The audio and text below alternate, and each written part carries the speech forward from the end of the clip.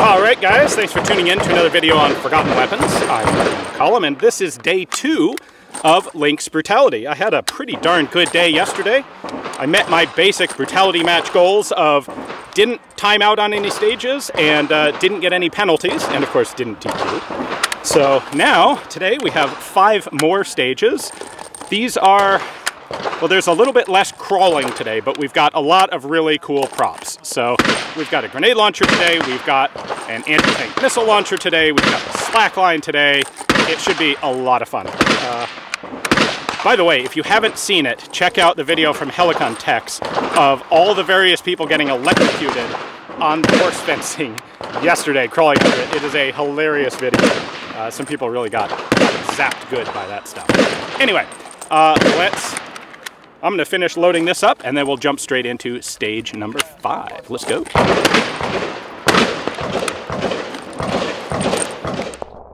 The electric fencing from yesterday is out of play and now instead we have a slack line. So there is a relatively wide, it's like a two inch wide tow strap between a pair of trees and then a, a rope at the top. Uh, and you have to carry each of these 15 kilo bags across the rope uh, over the quote-unquote minefield. Uh, each time you get one over, you then have to engage uh, plates through the VTAC barricade. So you're going to have to do this three times, and each time you use one of the different ports. So the first one is the horizontal port. Uh, I had a little bit of trouble with this, um, not with the rifle, but with the optic, uh, and just my own familiarity with where exactly do I hold when I've got the rifle canted over 90 degrees? I know it reasonably well for some of my guns, but this is of course a borrowed gun. Um, I did, I would like to say I did better on this stage than I did on the first stage yesterday, and I sort of did in that I didn't have a lot of procedural uh, foo bars, but this slackline was hard. Um, if you fall off at any point, like I believe I am about to do right, right. Oh, there we go, slipped off the rope. So I have to go back to the beginning, respawn, and do it again. So I changed up a little bit of this this time. You have the option of crossing your legs like this, or you slide your feet. Uh, later on in, in, the, in our squad at least, I saw some people realize that you could take the bag and hold it out over the rope and actually uh, put both hands on the balance rope. Uh, I did all three of them using one hand and holding the bag at my side. You can see there I was sliding my feet uh, and shuffling a bit more. Without the bag, with both hands on the rope, I could go, go across it a bit faster. The second run through here is going to be the diagonal uh, shooting port. Again, I still had a few issues um, with the shooting. I think mostly, well, obviously it was just me, but went decently well. And uh, back across, I have to get the third bag over. Again, this slackline is both physically harder and uh, more difficult than I think a lot of people expected. We had a bunch of people time out on this one. So, slow. slow going if you don't want to fall off, unless you're really good at it. And some people were really good and could just scamper right across. I normally would like to think my balance is pretty good, uh, but that was a that was a very challenging obstacle. And then the uh, this vertical shooting port is definitely the easiest one. I had to reload here, and I actually had a lot of trouble getting the magazine out of the cummerbund. My cover shirt was getting in the way. I had to actually put the gun down, yank the magazine out with both hands. That those, those cummerbund mag pouches are absolutely slower than proper pouches, ended up timing out here. So I get eight 15 second penalties for targets not engaged, so I missed three of the rifle plates, and then there were five pistol plates that you had to engage at the very end. So not great there, uh, but we did have, like, we had enough people time out that I was still only 69th out of 115. Uh, this was another really cool, nice physical stage uh, that was, uh, spoiler alert, virtually impossible. I believe three people in the entire match actually completed this stage. So what you have to do, there are two steel targets. They're the same ones that we had yesterday for the Custardi drill. And you have to hit each of them twice. So target one, target two, target one, target two. You're not allowed to double tap them. from three different positions. One is through the window, one is over the back of the car, and one is over the front of the car. The, the targets are frankly not that hard. We're talking 100 yards, maybe 75 yards, something uh, in that range. But it was a lot of engagements. It was uh, from some unsupported, sort of unsupported positions. And, uh, and as the stage goes on, you're going to get more and more tired. Because what happens here is after you've made your four hits from each position, you have to push the car back to the other side of the bay. It's not very far. Um, frankly, once you get the car moving, it tends to roll pretty well, but you have to exert some energy to get the thing moving. So from this second position, I'm going to repeat all of the same rifle shots. So it is a total of 12 rifle hits from each position, and you have to do this a total of four times. So you're pushing the car three times and shooting four times, which means this is a fairly heavy round count stage for a brutality style match. And there is a bonus here coming up because in the back of this car is a compressed air, roughly 30 millimeter grenade launcher. Uh, go ahead and have to reload. Uh, you get one shot with the grenade launcher on a, uh, a plywood cutout of a tank. And this was really, really cool. So I actually, I sort of cheated. Uh, the day before, yesterday, I went up to the Gun Expo area and tried out a shot with the grenade launcher. So I knew about the trigger, which is very heavy. I understood how to use it. Should be a piece of cake. The trick here is that the grenades are rifled. They have a driving band. And then on the practice grenades that we're using, it's a rubber uh, driving band. And I put it into the grenade, the launcher too hard. I got the rifling jammed not in line with the actual rifling, and I missed by like 10 yards to the right because the rifling on the thing wasn't engaged. That was a real bummer. I was, I was disappointed by that. So push the car back. This will be the third shooting engagement here. This was like this was a good stage. It was I think it's interesting to have stages in matches that are sort of a Kobayashi Maru where it's not impossible to finish. So I guess not quite Kobayashi Maru, but a stage that is essentially too hard for almost anyone in the match to finish. Um, the nice thing here is because there were enough, there were a lot of target engagements, we had a nice uh, sort of staggered plateaus of, of shooters who parred out. It wasn't like once you par out, everyone's score is the same. Um, there's a 15 second penalty for every target that you don't get. Um, and that still gave some, some variation. So I had 21 15 second penalties here. Uh, I think this was about my worst stage of the match, 78 overall. Uh, largely because I missed that grenade launcher shot. That would have been a bonus 60 seconds had I got it, which would have bumped me up nicely. All right, Steel Overload. Let's see if I can get some redemption here.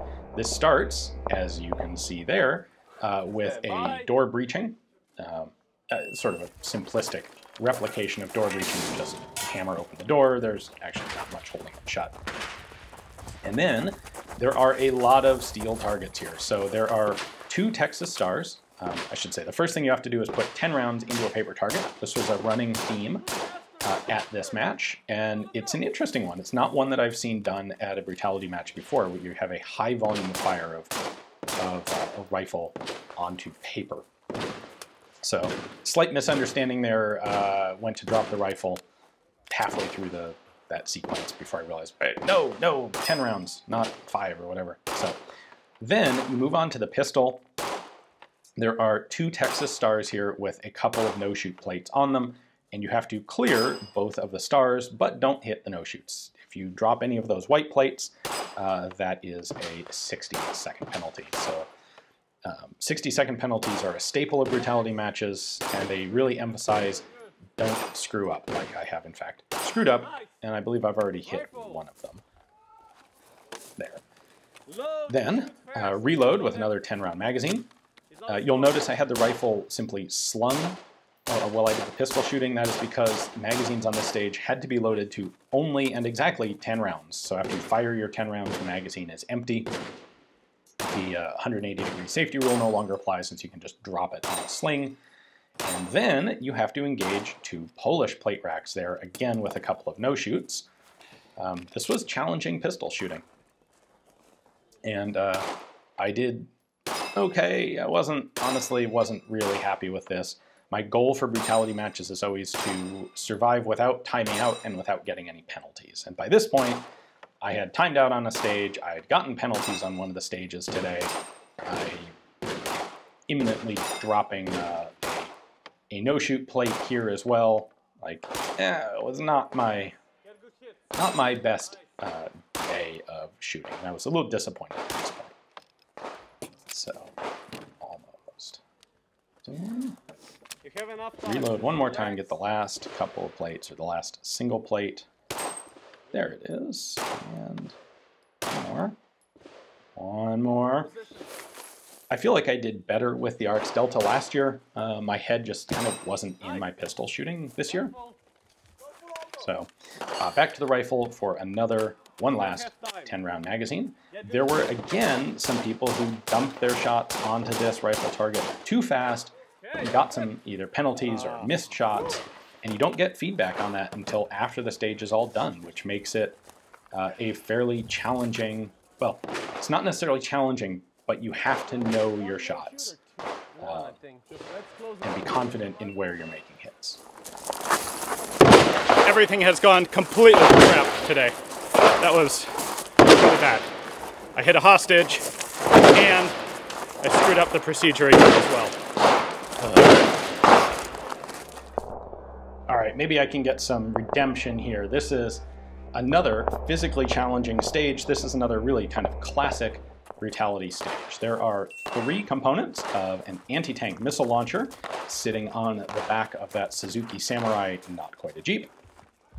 And what I have to do is bring them all over to this tire position, set up the missile launcher, uh, and then take everything back to the Jeep. So what you do first is run from the Jeep over to the tires, uh, get hits on paper there, and then run back, grab the first part of the launcher, the tripod, uh, and set it up. There we go, and then back to the rifle for another sequence of hits.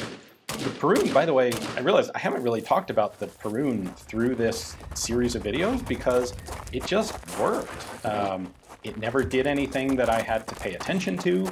Um, I guess the very first stage of the first day it didn't work when I didn't put ammo in it, but I can't really blame the rifle for that. Uh, it worked completely flawlessly without a single malfunction of any kind during the match. Really, really quite happy with it. And, I mean, good for the rifle there. It tells you there's there's not a whole lot I have to explain about the rifle. So, last, the, the first part was the tripod. The second was the little mounting bracket. Third is the launcher itself. We're going to take one last series of rifle shots on paper. And then I have to pay, take the whole ensemble back to the vehicle. So some people grabbed it all set up. I opted to sling the launcher and then grab the tube and the bracket together. This stuff is a little heavier than it looks. You get fairly winded by the end of a stage like this. Drop it all in the back of the vehicle, draw your pistol, and end the stage by making a couple hits on this rather challenge, sorry, one hit on this rather challenging little plate, which I'm very happy to say that I actually made on my first shot. So that was cool. Uh, fourth place open, 13th place overall. I, I'm back, baby. A uh, little bit of redemption here for my previous couple of rather disappointing redemption. stages. Yeah, very happy with this one. And that brings us to our 10th and final stage, Flashbanger. This uses an airsoft flashbang grenade. It's not quite a training flashbang. Are you ready? I do the totally rookie boot camp private thing here, and I toss the flashbang into the door, and it kind of falls outside of the tent instead of going in where it's supposed to, but, well, oops. So, now we have two paper targets, and each time you go through here, you have to put four shots on each target through the plastic windows, which don't seem like that big of a deal, but they actually, they flap back and forth. The, the little white uh, you know, fake lines in there do obscure the targets. This was, again, a lot harder than I think a lot of people realized. And each of the targets has a no-shoot directly under it. So after I engage with both hands, I have to run the, the ammo cans around that pole at the back of the bay, come back and engage it one-handed, and then I repeat that and engage it one-handed with the other hand. You can use both hands to reload or fix malfunctions. I proactively reloaded there. I decided to shoot it uh, right-handed first, which is weak hand for me, figuring when I've done another run, I will be even more tired, and um, I'd rather get the hard one out of the way while I have while I'm in the best condition. So I do the second one, left hand only, and then uh, run the ammo cans around one more time, and then you get to after this run, you get to drop them and engage freestyle both hands. You do have to have the rifle with you during the stage, but you don't actually use it. So this one uh, did not go so well. Once again, a lot of people got penalties on this stage, myself included. Um, it was more difficult than expected in retrospect. Yeah, three, uh, two no shoots uh, and a, a, missed shot. Yeah, I should have should have been a lot more careful on that. But all right live and learn. That, that's you know, good lesson for next time. Okay, so the last stage did not go so great. You do not want me on the hostage rescue squad. Um, certain maybe nationalities excluded. Oops. It's kind of kind of a bummer way to end the match, but this was overall a fantastic, amazing match. Giga and the Polenar crew put together an awesome set of stages. They were both more interesting and harder than last year, which is saying something because last year's stages were both really hard and really cool and interesting. So congratulations to Polenar for Lynx Brutality 2023 being an awesome success. I there's still people shooting here. I haven't finished, well, the whole match hasn't finished yet. I'm done with my stages, but I don't know yet how I did overall in the match. Hopefully I'll be like above the 50th percentile. I'm certainly not going to be anywhere in the top couple because bunch of bunch of uh, timeouts and also penalties. So um, the guns that I use, the Arex Delta, work fine. My trigger control today on that pistol just completely went out the window. I don't know exactly what it was, but my head was not really in the game today. I had a great first day, not such a great second day. Uh, the Perun X16 ran flawlessly. So I was using it, and Jordan, who you see from time to time, who runs the camera most of the time, he was also running this match with the Perun X16. We just swapped it back and forth. It also ran literally flawlessly the entire two days for the match. So in the rocks, in the dust, not so much mud here this year, but um, it's comfortable to shoot, recoil's nice and light. It was a really fun gun to shoot the match with. The best I think the best overall thing I can say about it is you never really noticed the rifle. It just did its job of being there and putting bullets where you wanted them to go. And you never had to pay attention to it, which is what you want for a rifle. So uh, a big thanks to Polenar for loaning me the pistol and to Tink Arms here in Slovenia for loaning me their new rifle. Uh, Perun X16s are available in the US. Right now they're being distributed by AEA Arms. So if you're interested in them, that out. And of course, I have a video here from last year where I did a whole disassembly, teardown, and everything on an X16. I actually have one at home in, in, 300, in 300 Blackout that we'll be doing some filming with so hopefully you guys enjoyed uh, Lynx Brutality this year. If you are in Europe, uh, definitely keep it in mind for next year. It's a great competition, tons of fun, great people, great camaraderie. And, what more can you say about it than that? Thanks for watching.